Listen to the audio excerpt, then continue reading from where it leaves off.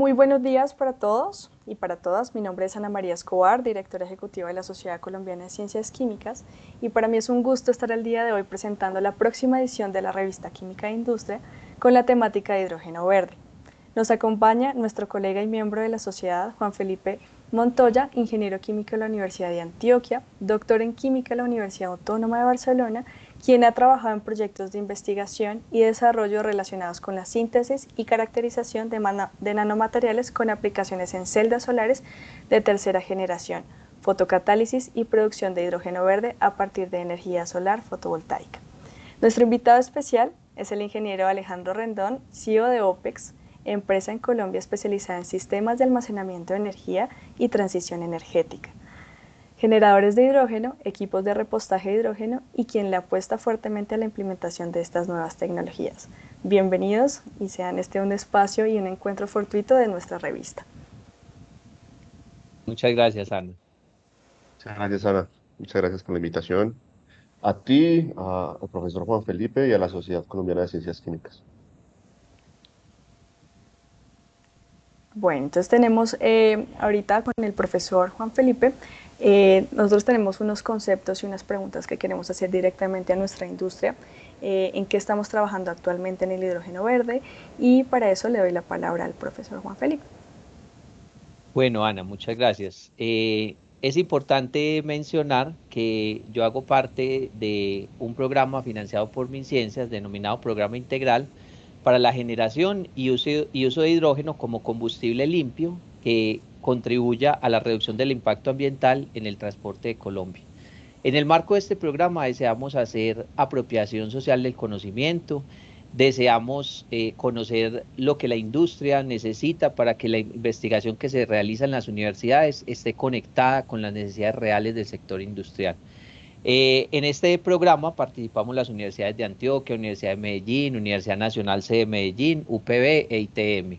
Entonces es una verdadera alianza que se ha conformado y donde la empresa OPEX nos ha acompañado eh, en diversos temas, incluso pues desarrollando varios componentes ciertos de estas investigaciones. Entonces para mí es un gusto realmente pues que podamos contar para esta edición de la revista eh, con Alejandro y yo pues quisiera partir simplemente preguntándole que nos contara un poco sobre OPEX y cómo la empresa se interesó en abrir realmente una línea de negocio, ¿cierto?, con el hidrógeno verde. Claro que sí. Eh, Juan Felipe, pues voy a empezar por contarles eh, que OPEX nació hace 12 años, siempre con una visión muy orientada hacia la transición energética en el sector logístico especialmente. Estoy hablando de todas las máquinas e infraestructura que requiere el sector logístico para el movimiento de materiales, tales como los montacargas, los camiones, entre otros equipos que se requieren para esta tarea. En 2014 más o menos empezamos con la comercialización y renta de baterías de plomo y de litio eh, para montacargas, así fue como empezamos. Y durante todos estos años hemos empezado a vivir, bueno, vivimos todo este tiempo las cosas buenas y las cosas malas que tienen estas tecnologías. En principio con las baterías de plomo, eh, voy a empezar por ahí. Las baterías de plomo se utilizan mucho para mover, para abastecer energía a los montacargas. Y todo empezó, todo el tema del hidrógeno empezó eh, desde ahí, ¿sí? Em, empezamos a, a, traer esas baterías de Alemania. Nosotros traíamos la mejor tecnología que había en el mercado, que pues, es una de las marcas, traíamos tecnología alemana, una marca de mucha trayectoria que se llama Hopeke. Y muy bien, funcionaba súper bien. Eh, al principio los montacargas, ustedes saben que funcionaban con combustión. Después, cuando estos montacargas empezaron a, a, implementarse al interior de los EDIs, pues los productos de combustión al interior de, de los EDIs no era como tan buena idea y pasaron a ser eléctricos.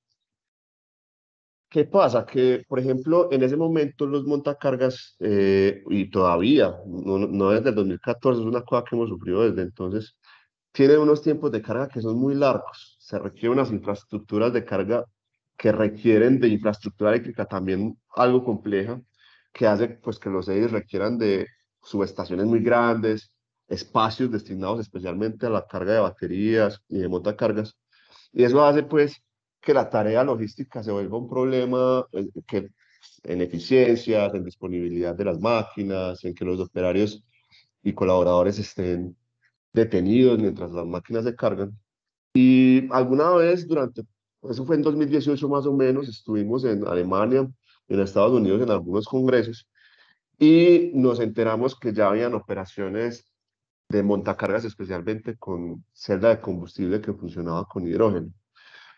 Y notamos que esa tecnología resolvía los problemas que teníamos en ese momento. Nos descrestó el hecho de que en una demostración una batería, una batería de, de hidrógeno se cargara en tres minutos. Eso eliminaba pues todos los tiempos muertos que teníamos actualmente con baterías de plomo y de litio y nos voló la cabeza nada más ese, ese, hecho. Hay otras ventajas que tiene esto. Y decidimos apostarle a través de esa tecnología aquí a Colombia. Eh, ¿Qué pasó en ese momento? Cuando vinimos a Colombia y dijimos, bueno, vamos a buscar el hidrógeno para, para abastecer esas baterías antes de traerlas, nos fuimos a cotizar con las gasistas que hay en el país. Eh, pues, son muy conocidos, yo creo que eh, en el gremio se sabe cuáles son los gasistas y fuimos a cotizar el hidrógeno y no, inviable, porque era un hidrógeno que, entre otras cosas, era gris, eh, porque aquí no hay producción de hidrógeno de bajas emisiones, y era muy caro. Y la presentación en la que nos la entregaban, pues no nos funcionaba para lo que estábamos buscando, porque se requieren para estas aplicaciones que el hidrógeno esté a una alta presión mayor a los 200 bares. Entonces no hacía fit con lo que estábamos necesitando y se nos creó la necesidad de generar nuestro propio hidrógeno. Entonces, nos dimos cuenta que antes de traer cualquier tecnología de uso, tendríamos que tener claramente definido el abastecimiento. Y ahí fue que empezó el camino de nosotros hacia crear proyectos de hidrógeno. Y pues hoy en día ya vamos bien adelante en estos temas. Eh, yo les cuento un poco. empezamos en 2019 trayendo un vehículo de celda de combustible, un carro, un Hyundai Nexo fue lo que trajimos y una estación de repostaje pequeña con una capacidad prácticamente de abastecer tres montacargas y el, y el vehículo de celda de combustible. Empezamos a hacer pruebas, a familiarizar a la gente con la tecnología, que pudieran tocarla, no solamente a, a las personas de AP, a nuestros inversionistas, sino a las empresas que durante muchos años hemos atendido. Siempre hemos atendido empresas del sector logístico, empresas que tienen un gran número de camiones, un gran número de montacargas, empezamos a, evangelizar un poco acerca del uso, de las ventajas. Ha sido todo un camino, nos ha tocado resolver el problema y el famoso problema del huevo y la gallina. ¿De dónde saco el hidrógeno para abastecer eh, la tecnología que lo usa? Y bueno, ¿qué hago con la tecnología si no tengo el hidrógeno? Entonces nos ha tocado actuar ahí a resolver ese, ese problema que yo creo que en todos los mercados nacientes aparece. Espectacular digamos que la iniciativa de OPEX responde a muchas necesidades que actualmente vivimos y quisiera también conocer cuáles esas son esas principales actividades eh, en la cadena de valor del hidrógeno y a cuáles le apunta OPEX. Esa, historia, y bueno, y la pregunta es bien buena porque OPEX no podía hacerlo todo. ¿sí? Eh, OPEX no podía ser el generador y, y el usuario del hidrógeno, entonces en ese nos dimos cuenta que era necesario crear un grupo empresarial que atendiera a varios de los eslabones de la cadena de valor.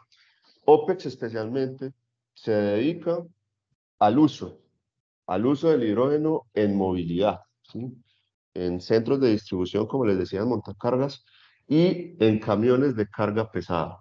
Estamos mirando la manera de bajar un poquito como el target, no solamente en pesada, sino también en transporte de última milla, que contribuye significativamente a las emisiones de gases de, eh, al portafolio o a la canasta de gases invernaderos que en el país.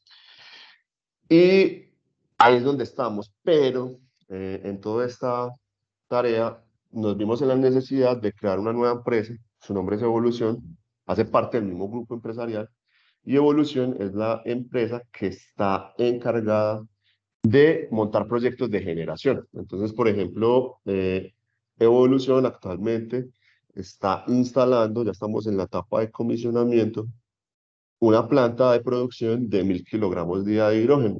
Esos mil kilogramos día de hidrógeno los toma OPEX y los pone a disposición de la industria para su uso, ¿cierto? Entonces, desde OPEX lo que estamos haciendo es facilitándole las, a las empresas que ya, ya, venían siendo clientes de nosotros hace muchos años, como les digo, empresas que tienen grandes operaciones logísticas, facilitarle la tecnología para el uso en camiones y en montacargas. ¿Qué es la tecnología? Por ejemplo, en un camión, pues habilitar un camión para que pueda funcionar con hidrógeno, ya sea 100% con hidrógeno o en mezclas. Y en montacargas, pues las celdas de combustible que reemplazan las baterías de plomo y de litio para que se muevan y funcionen con hidrógeno. Pero adicionalmente, para que eso se pueda dar de una manera exitosa, necesitamos habilitarles también la infraestructura de carga. Entonces, en OPEX nos dedicamos a darles esa solución, desde la infraestructura de carga hasta la infraestructura de uso.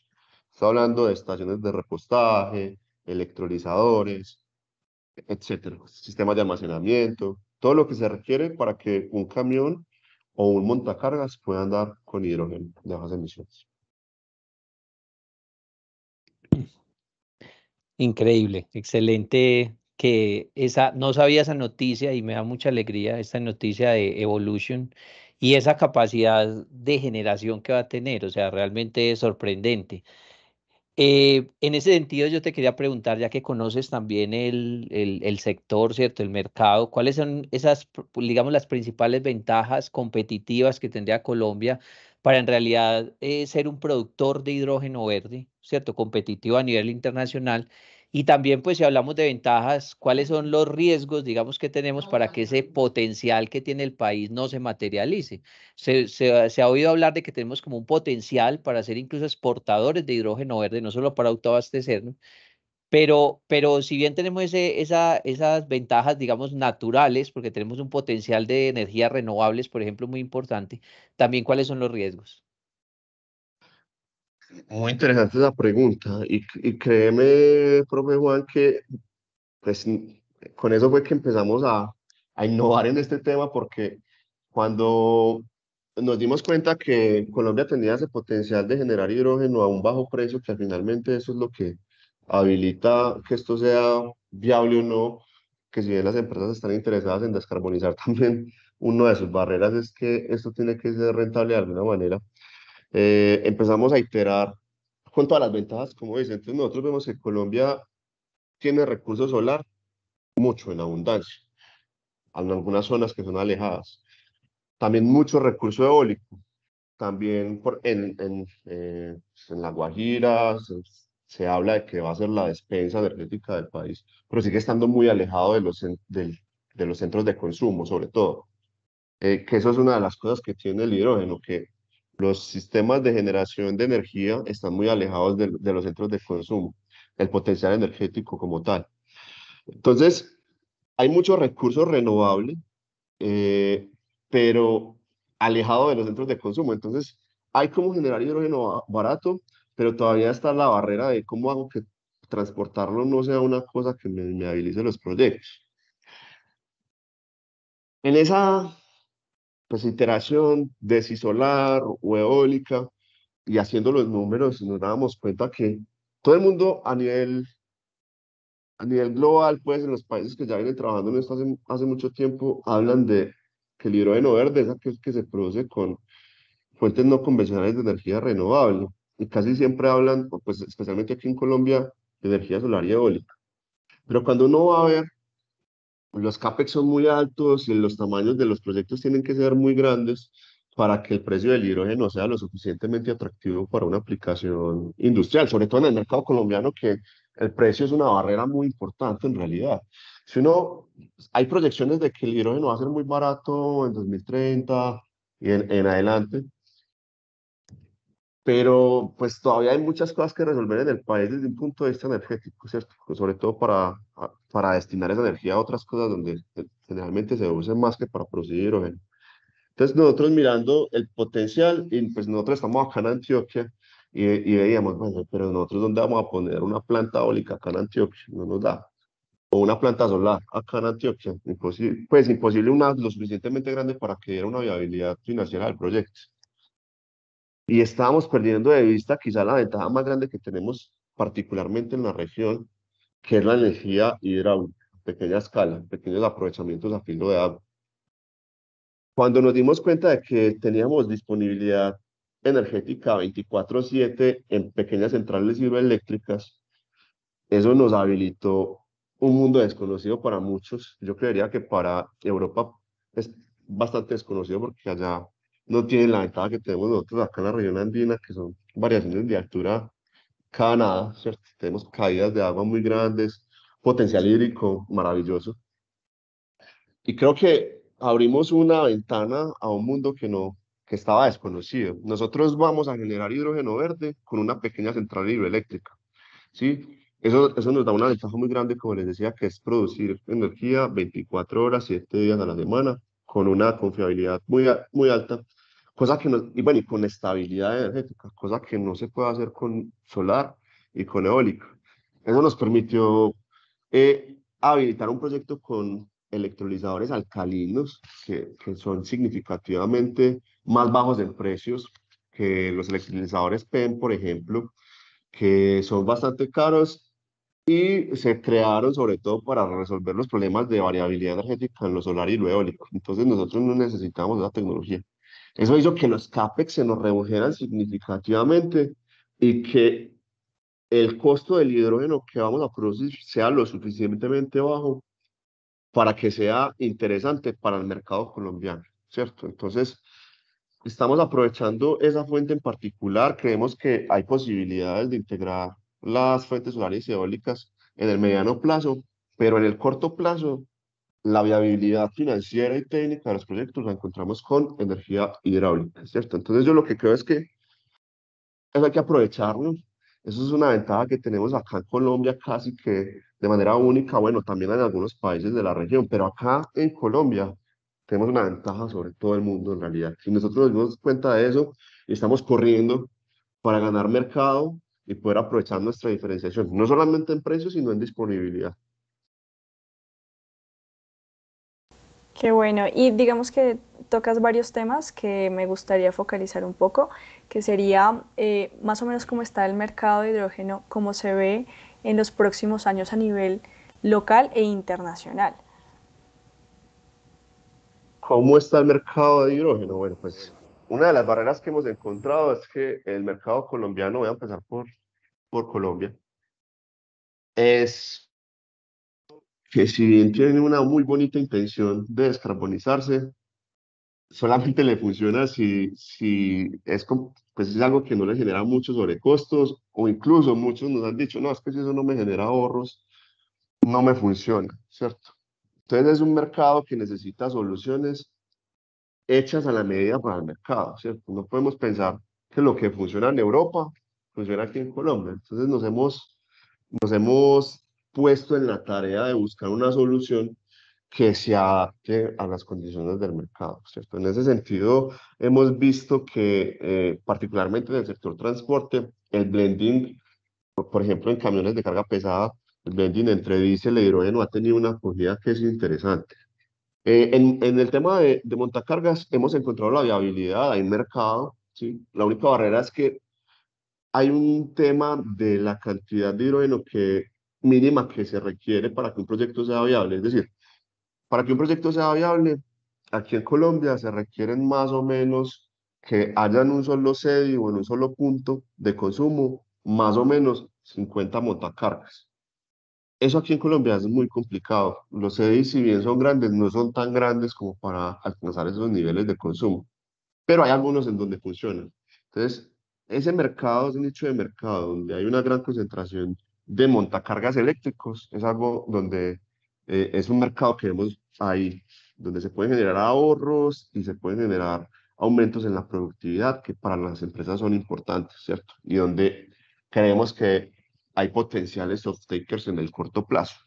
Pero, eh, como les decía, la buena acogida que ha tenido el blending en camiones en camiones de carga pesada, sobre todo porque la electromovilidad no llega hasta la carga pesada, sino que se queda en última milla. El hidrógeno tiene un nicho que puede ser interesante, ¿sí? ¿Por qué? Porque primero no llega el eléctrico, es un sector que contribuye significativamente a las emisiones de material particulado y otras emisiones contaminantes y que pues es uno de los focos importantes de descarbonización que tiene el país en este momento. Entonces, hablando del mercado nacional, creemos que es el transporte lo que tiene viabilidad en el corto plazo, en nichos muy específicos. Grandes centros de distribución con montacargas eléctricos y transporte de carga pesado donde no llega lo eléctrico. ¿Listo? Esos son los nichos donde vemos potencial. Pero hay un nicho que también que queremos que sea aún más interesante, que es el del uso de derivados de hidrógeno en la industria, por ejemplo, que no es transporte, pero que es un nicho donde hay viabilidad económica y donde puede dar una buena acogida también del hidrógeno y que no hay que ir a pelear por precio porque los precios son competitivos versus a lo que se importa actualmente del exterior en materias primas químicas.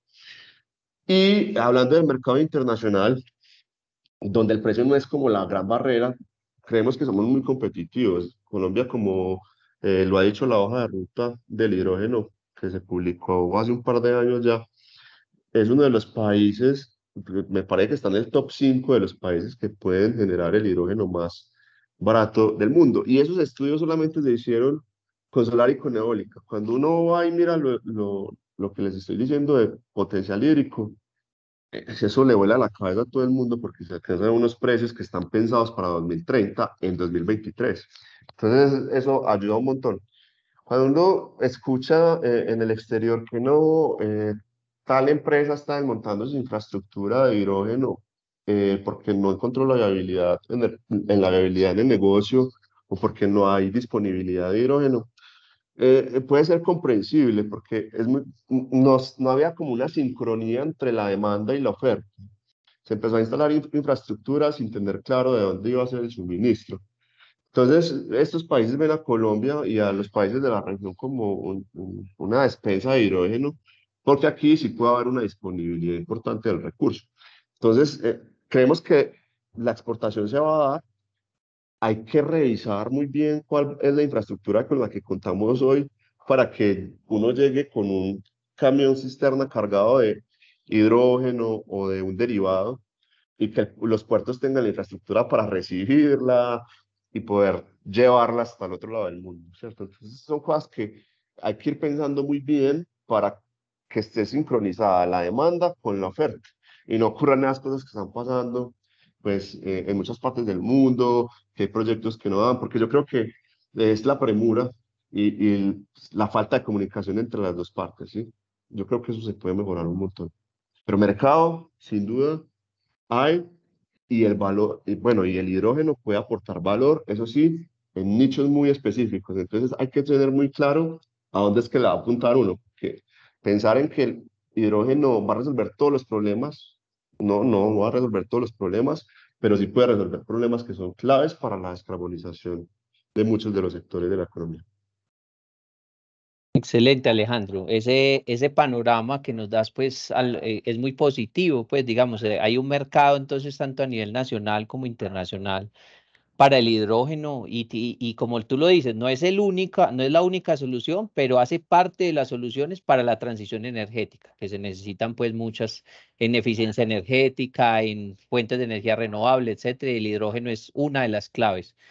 Eh, en ese, en e, cuando Colombia entre, digamos, al mercado del hidrógeno, eh, sería, digamos, yo creería que trágico que entráramos solo como un exportador, ¿cierto?, de materias primas, que ha sido nuestro rol tradicional. En ese sentido, ¿tú crees que sea viable que se desarrollara una industria nacional de componentes o equipos para producir hidrógeno verde, tales como electrolizadores, celdas de combustible, tal vez componentes de los electrolizadores, por ejemplo, cátodos o ánodos? Eh, ¿Eso lo ves viable o, o sería demasiado utópico, digámoslo así. No, miren que nosotros creemos que en realidad ha sido un problema cultural el hecho de que no desarrollemos infraestructura aquí eh, en Colombia. Eh, la electrólisis es una tecnología que ya, yo me atrevería a decir, más de 100 años en, el, que existen los sistemas de electrólisis. De hecho, hace poco, la semana pasada visitamos en Perú una planta que lleva 60 años funcionando y todavía tiene los mismos electrolizadores.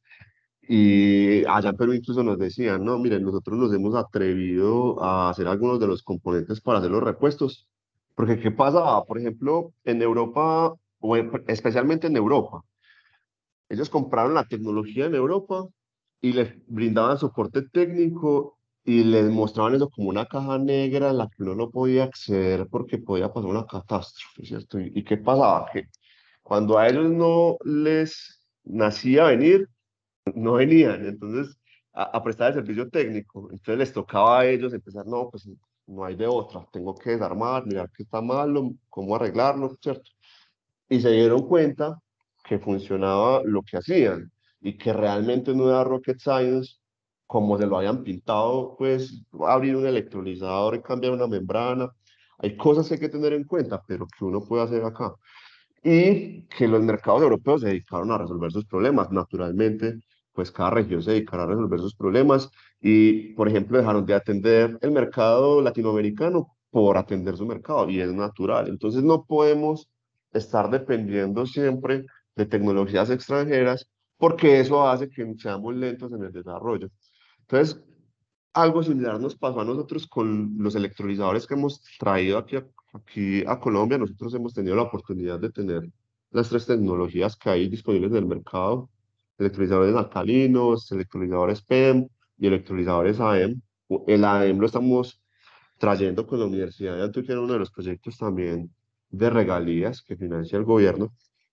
Y hemos visto que hemos tenido la oportunidad de también repararlos y mirar de qué se trata esta tecnología y vemos totalmente viable eh, que se puede hacer aquí en Colombia, ¿cierto? Eso es, eso es fundamental porque, como le digo, siempre le pintan a uno esto como una caja negra pero yo creo que con la formación técnica de profesionales orientados a esto, yo creo que hay que empezar a trabajar es en la formación eh, de profesionales que, que atiendan este sector, porque todavía son pocos, no solamente aquí en Colombia, a nivel mundial hay más bien pocos profesionales que se dediquen a esto. Profesionales bien formados en lugares donde, donde pues ya haya tradición en este tipo de tecnología, pueden desarrollar fácilmente la industria, especialmente de electrolizadores. Ahí es donde veo que podemos avanzar rápidamente aquí en Colombia. Obviamente toca integrar pues a la academia, a la industria, para poder que esto pues tenga el rigor científico que se requiere para que quede bien hecho, ¿no? Claro que sí. Eh, ah, perdón, Ana. No, eh, solo Ana nos seguía con la pregunta, pero solo quiero resaltar esto que nos dice Alejandro y esto es un llamado que nos hace a las universidades. Nosotros tenemos que formar para poder apuntar hacia la formación de esos profesionales y también de esos emprendedores, ojalá, que puedan eh, crear empresas de base tecnológica, entonces que puedan entrar a desarrollar componentes de electrolizadores. Perdón, Ana, te dejo espacio para la... No, profe. Eh, no, digamos que a, ser, a, ser, verdad, nosotros vemos muchas dificultades eh, también a nivel Colombia, ¿sí? como ya lo has mencionado, pero también nos quisiéramos focalizar un poquito en cuáles han, sido las fallas o las dificultades al momento de operar una planta de producción de hidrógeno. Pues miren que curiosamente las dificultades no han sido técnicas. Aquí en Colombia hay muy buen personal técnico lo que más nos ha generado barreras realmente ha sido la regulación, ¿sí? Que, que si bien, pues yo creería que la ausencia de regulación favorece el desarrollo de la industria porque lo que no está regulado se puede hacer, ¿cierto? Eso es lo que solemos decir en el, en el sector. Pero hay cosas de regulación, sobre todo energética, que no nos permiten aprovechar la infraestructura existente, ¿cierto? Por ejemplo, sacar una pequeña central hidroeléctrica que ya existe, sacarla del sistema interconectado nacional y utilizarla para producir hidrógeno. Eso es una cosa que requiere darle la vuelta a, todo, a, la UME, a la CREVAX, a, a O sea, toca hablar con todo el mundo para poder hacer un cambio de eso y eso, pues, son trabas, se demora demasiado tiempo hacer un trámite de esto y pues desafortunadamente es lo que al principio nos daba más dificultad, ¿cierto? Al principio nos daba más dificultad para poder poner a andar el proyecto que tenemos actualmente en ejecución. Eh, otra de las cosas es el desconocimiento, Sí, eso, ha sido como una de las barreras porque cuando uno le habla a la gente de hidrógeno piensan que eso se va a explotar y todos vamos a volar en mil pedazos. Eh, entonces, ha tocado venir evangelizando, mostrando que eso es una tecnología madura, que lleva años en el mercado, que es segura, que debe ser riguroso, pues desde un punto de vista técnico, eh, el que vaya a ejecutar el proyecto para que no vaya pues a materializarse los riesgos que puede tener trabajar con cualquier combustible. Es que el hidrógeno no deja de ser más que un, un combustible gaseoso en este caso, y a alta presión, con una alta probabilidad eh, bueno, la gente piensa que la probabilidad de que vaya a explotar es alta, pero si uno mitiga los riesgos, eh, no debería ser un, un, problema, es una cosa que ya viene trabajando desde hace muchos años. Entonces, no, si hablamos de barreras, creemos que lo más complicado ha sido la regulación eh, para el suministro de energía a electrolizadores. Desde un punto de vista técnico, ha sido el desconocimiento y el miedo a, al hidrógeno en general. Claro. Perfecto, Alejandro. Eh, bueno, y ahí pues al ser yo del sector académico, ¿cierto? Pues siempre, siempre hago estas preguntas porque tengo esa inquietud, ¿cierto? Desde las universidades, entonces, ¿qué programas de formación o tal vez dentro de los programas de formación ya existentes, por ejemplo, químicos, ingenieros químicos, bueno, una cantidad de profesionales, pero entonces, ¿qué programas de formación nuevos o qué componentes dentro de los programas de formación existentes deberíamos incluir para que de verdad eh, egresen profesionales que sean competentes como para esa economía del hidrógeno que se viene. Y también eso conecta con otra misión de la universidad. Por un lado, desde el punto de vista de la formación, o sea, desde la docencia, pero también desde la investigación. Tal vez qué temas crees que sean importantes para que las universidades podamos eh, eh, contribuir a esa economía del hidrógeno. Sí, bueno, lo primero, e insisto en esto, los profesionales deben formarse para resolver, bueno, pues hablando de los profesionales colombianos que quieran apostarle pues, a estas nuevas formas de energía, eh, hay que pensar en que las soluciones deben estar diseñadas para las necesidades del mercado local, ¿sí? E, el mercado local es muy diferente y tiene muchas particularidades y que las cosas que uno estudia normalmente, uno utiliza referencias de otros países, no siempre funcionan para lo que está aquí, ¿cierto? Entonces, soluciones pensadas para el mercado, para las necesidades del mercado local. En ese sentido, eh, lo que creo yo, que, pues a nosotros nos funciona muy bien, eh, aquí hay muchos, varios ingenieros mecánicos apasionados por los motores de combustión y pues acá todavía hay mucha tecnología de combustión, creo que, que ahí podría ser interesante líneas de investigación, ¿cierto? Cómo utilizar el hidrógeno como combustible en las tecnologías con las que cuenta el país hoy, o sea, sistemas de combustión, en las que se pueda aprovechar de manera eficiente y donde genere impacto. ¿cierto? Ahí es donde un área que puede ser interesante de investigación. Para que se pueda desarrollar la industria del hidrógeno, como hablábamos ahorita, es importante contar con desarrollo de infraestructura para no depender de, de las importaciones y de la disponibilidad de los fabricantes extranjeros.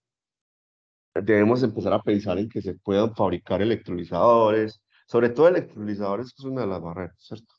Eh, entonces ahí la electroquímica juega un papel interesante que que hay que empezar a, revisar. Creemos que las tecnologías que traemos actualmente pueden ser mejoradas con los desarrollos que hay actualmente en las universidades del país. Nosotros hemos tenido la oportunidad de hablar con casi todas las universidades están haciendo desarrollos y vemos que se están eh, pues aproximando y mejorando las eficiencias de las tecnologías comerciales, ¿cierto? Entonces uno puede tener una integración de las dos, como lo que ya hay comercial con lo que se está desarrollando en el país para tener electrolizadores más eficientes, por ejemplo. Pero, ¿saben dónde sí creo que deberíamos empezar a, a asociarnos más? Que creo que finalmente lo que va a habilitar el, las que acabo de mencionar es, son los profesionales que busquen las, los modelos de negocio apropiados para el mercado, ¿sí? Eh, entonces, en la economía del hidrógeno también hay que empezar a apostarle a los profesionales que, que vengan y y le den la vuelta a lo, a lo convencional en cuanto a modelos de negocio no en los modelos de negocio de tal manera que se adapten a las condiciones del mercado locales, hablando del mercado nacional. Hablando del mercado internacional, eh, creo que hay una gran acogida de los e-fuels y de los derivados del hidrógeno de bajas emisiones. Entonces ahí, por ejemplo, en la química, y nosotros estamos muy metidos en ese tema, por ejemplo, estamos trabajando en combustible sostenible para aviones, que se puede generar de varias maneras, incluyendo eh, o tomando como materia prima, por ejemplo, también el hidrógeno de bajas emisiones.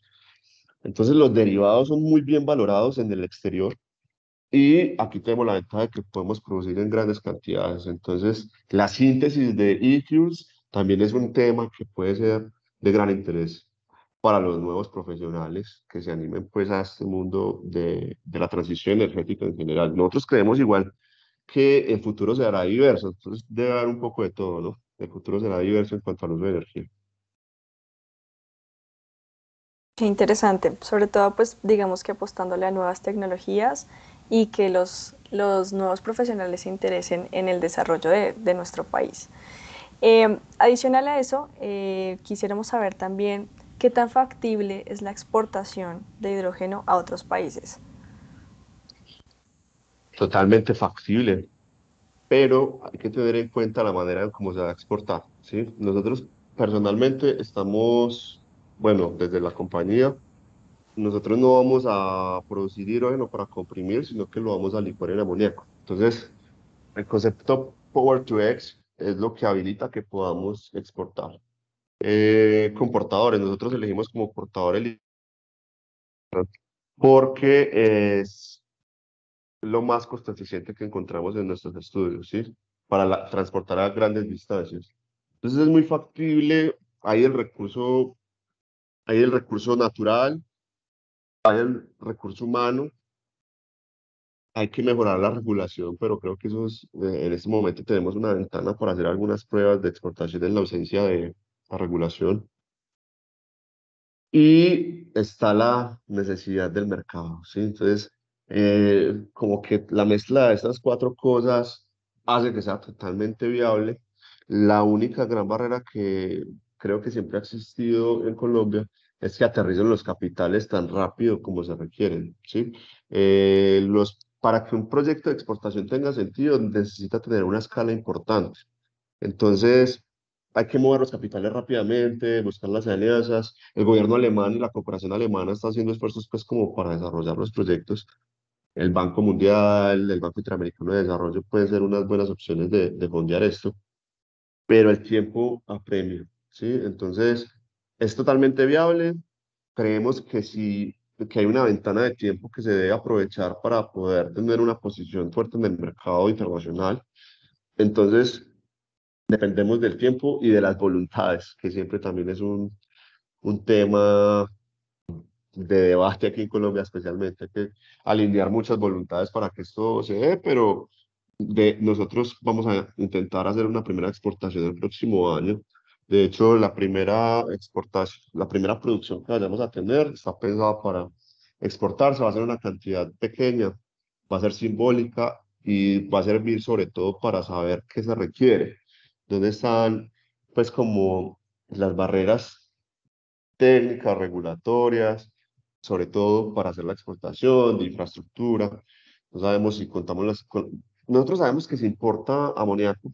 Pues, acá Colombia se importa mucho Trinidad y Tobago, por ejemplo.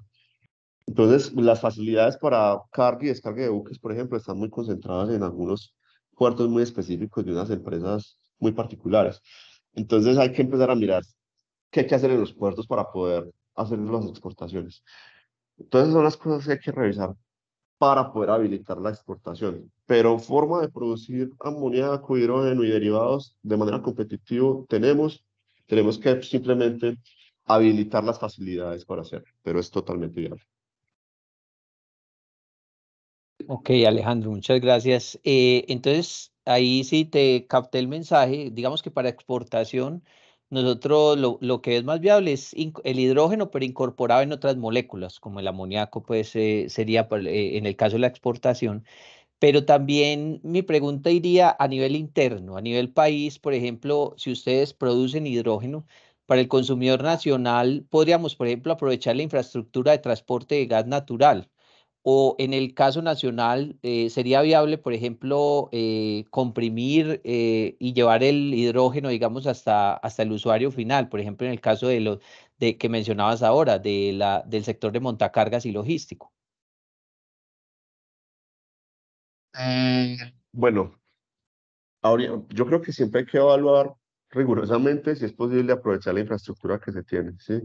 Pues las experiencias de otros países en este tema de transporte de hidrógeno, eh, gasoductos existentes, pues han mostrado que, que requieren de repotenciaciones relativamente bajas para poder hacer el transporte, pero se requiere la repotenciación. Entonces, no me atrevería a decir que es viable utilizarlo en este momento. Diría que vale la pena revisar cada gasoducto particular si es posible transportar o no hidrógeno, ¿sí? dependiendo de sus condiciones, de sus años y todo lo que se, se puede llegar a requerir. Lo que sí es cierto es que, bueno, por lo menos para nosotros, ha resultado, dependiendo de la distancia, más interesante. De 500 kilómetros en adelante, por ejemplo, si yo genero, no sé, en un municipio de Antioquia que tenga una pequeña central hidroeléctrica, y el punto de consumo está más de 500 kilómetros, creemos que es mejor transportar en forma de amoníaco, ¿sí? Y después en el uso final, craquearlo, comprimirlo y dispensar. El problema que nosotros hemos identificado con la compresión son los altos costos de inversión en infraestructura de transporte. Aquí en Colombia ya mal que bien existe infraestructura de transporte de amoníaco, entonces se puede aprovechar. Hay camiones cisterna que transportan amoníaco, pues al todo al interior, a las costas, eso se puede aprovechar en el corto plazo. En el mediano plazo, eh, pues nosotros vemos que, por ejemplo, empresas como Plug Power han avanzado rápidamente en el desarrollo de infraestructura para transporte en hidrógeno licuado. Habría que ver si eso funciona aquí en Colombia, ¿sí? el hidrógeno licuado para distancias menores a los 500 kilómetros, ¿cierto? Desde el punto de generación al punto de uso final. Eh, pero hay lugares donde es posible, por ejemplo, nuestra planta va a estar ubicada en el área, eh, en el área metropolitana, entonces probablemente va a estar cerca a sitios de consumo muy cercanos donde va a ser más sentido un gasoducto dedicado a, determinada operación. Entonces, eh, la forma de, de, transportarlo o el aprovechar o no la infraestructura depende de cada caso particular. Por eso el, el hidrógeno no debería verse como algo o una solución generalizada, como les decía ahorita, porque tiene sus particularidades. Funciona bien una cosa para determinadas distancias, otra para otras. Entonces toca evaluar cada caso particular. Pero hay infraestructura que se puede aprovechar, que ya existe y que va a acelerar el uso, porque el problema está cuando no hay nada. Si no hubiese nada, entonces no podríamos empezar a hacer unos primeros pilotos, unos primeros proyectos. Entonces yo lo que siempre he recomendado es, venga, aprovechemos la infraestructura que ya existe, miremos cómo la aprovechamos de manera segura y estudiemos cada caso particular a ver qué es lo que funciona mejor. Qué bueno, Alejandro, y, te agradezco por darnos una perspectiva con soluciones, digamos, inmediatas y a largo plazo.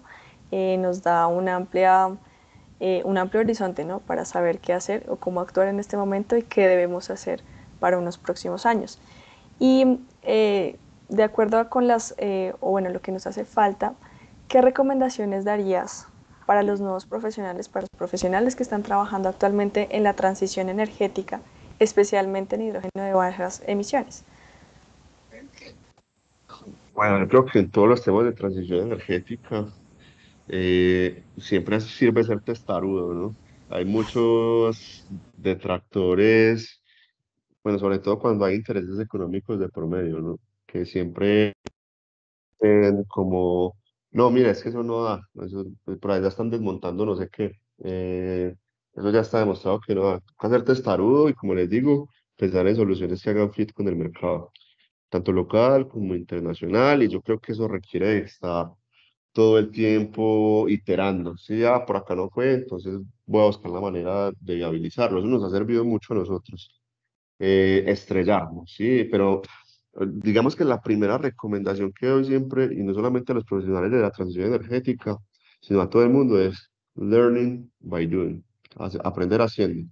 Eh, y yo creo que vale la pena aventurarse, emprender, arriesgarse. ¿sí? Nuestros inversionistas, por ejemplo, han sido muy... Eh, nosotros los proyectos los viabilizamos con capital de riesgo, ¿cierto? Y hay inversionistas que están alineados con, las, con los planes de sostenibilidad apuestas a, largo plazo. Y la verdad, eh, creo que hemos dado muy buenos resultados y las proyecciones que tenemos son muy buenas. Y lo que nos ha funcionado es, como les digo, aprender haciendo. Entonces, mi recomendación es, sean testarudos. En realidad lo que nos estamos jugando aquí no es que un proyecto sea viable económicamente, nos estamos jugando pues eh, la vida, literalmente, nos estamos jugando la vida, no solamente nuestra, sino pues de todo el mundo y de todas las especies con las que compartimos este hogar llamado planeta Tierra. Entonces, eso es lo que hay que defender de manera contundente, ¿sí? Aquí el tema no es cuánto me voy a ahorrar por usar una cosa, sino cuánta, cuánta vida lo va a salvar al planeta, ¿cierto? ¿Cuántos años más de vida voy a dejarle a las nuevas generaciones?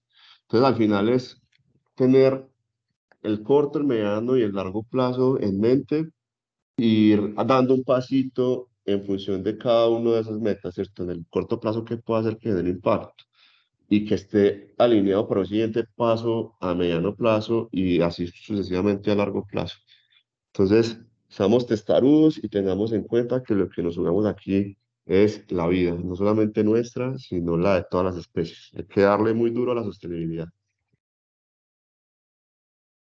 Gracias Alejandro por ese, ese mensaje es especial, es especial para, especialmente pues para todos nuestros jóvenes y eh, alineado con eh, que ya no es un tema abstracto, ¿cierto? empezamos el año con incendios forestales, con un fenómeno del niño, digamos que contradice a todos los negacionistas del cambio climático y con unos datos ya objetivos del Copérnicus, que es el Observatorio Europeo sobre el Clima, que nos dice que la temperatura media del planeta pues en el 2023 aumentó 1.2 grados, o sea, muy cerca a las metas que habían de, eh, para 2050, ¿cierto? O sea, el, cambio climático es ya que nos está afectando y ese mensaje eh, es muy pertinente en este momento.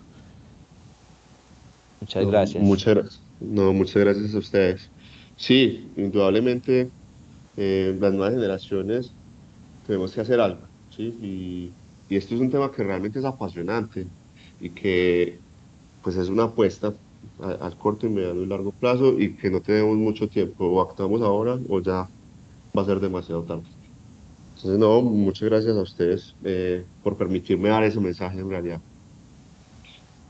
No, muchas gracias porque realmente es un llamado a toda nuestra comunidad científica a actuar y a desarrollar y, a pensar también en no solo en nosotros, sino en todo nuestro ambiente y nuestro, nuestro entorno. Entonces yo muy especialmente y desde la Sociedad Colombiana de Ciencias Químicas te agradezco por la gestión por OPEX, porque realmente ha sido uno de los principales o lo que está cambiando las nuevas tendencias. Em, y también agradezco pues a todo el sector industrial que está apoyando las, los nuevos desarrollos y nuevas investigaciones. Entonces sí te agradezco por la entrevista. No, no, muchas gracias a ustedes, a la Sociedad Colombiana de Ciencias Químicas. Y, y sí, lo que estás diciendo es muy pertinente y el último mensaje que doy es que esto no es un trabajo de un solo gremio. Aquí tenemos que trabajar articuladamente la universidad, la empresa y el Estado para que esto sea de manera acelerada y que todos tenemos un rol que debe engranar con el otro para poder que esto avance al ritmo que, que debe avanzar. Entonces, eh, mi última invitación es a que trabajemos de manera articulada, siempre validando las cosas que sea la universidad con la industria, eh, y no haciendo como investigaciones y trabajos aislados, porque si no hay comunicación, entonces puede que, que no se genere el impacto para lo que se está planteando pues las investigaciones o los desarrollos y proyectos que es de la industria. Muchas gracias, Alejandro. muchas gracias a ustedes. Gracias, profesor Juan Felipe, también por acompañarnos y nos vemos en un próximo encuentro. Bueno, muchas gracias, Ana. Saludos. Saludos. Hasta luego.